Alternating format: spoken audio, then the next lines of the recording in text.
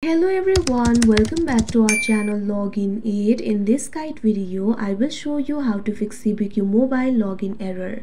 So there might be various reasons behind the CBQ mobile login error. The first reason might be because you haven't provided the correct login credentials. Sometimes you might be facing the login error because mistakenly you might have provided the incorrect login credentials.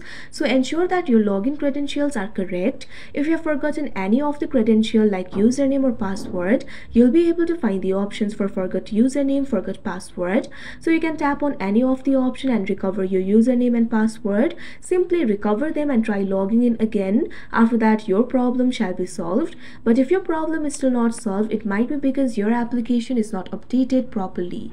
So in that case what you have to do is launch open play store you can see over here Play Store has been opened. Tap on the search icon that you can see at the bottom right corner of your screen.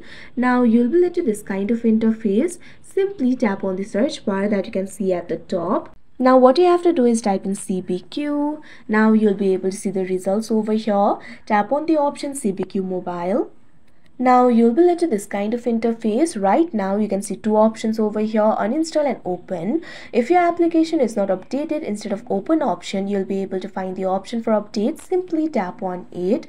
After that wait for a while and your application will be updated.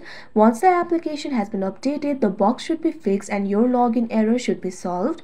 But if your problem is still not solved what you can do is simply reinstall the app.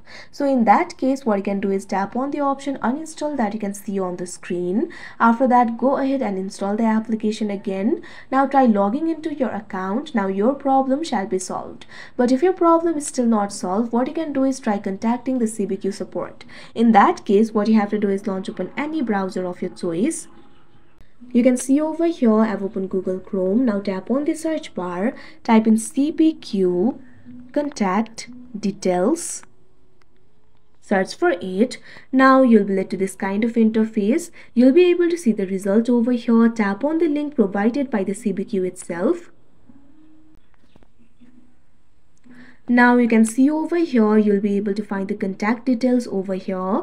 You'll be able to find the number over here. You can simply call this number and tell your problem. After that your error will be solved. So like this you'll be able to solve your login error. So that is how you fix cbq mobile login error. I hope you found this video helpful. Thank you for watching. Make sure to like share and subscribe to our channel